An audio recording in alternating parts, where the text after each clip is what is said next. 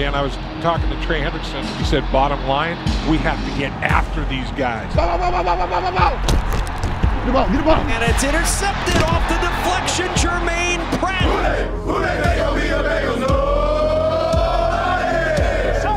in the jungle, beautiful Sunday. Y'all know what it is. Sit back and enjoy the show. Bengals win on the way.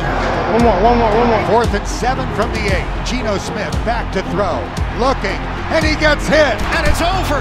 The Bengals defense delivers.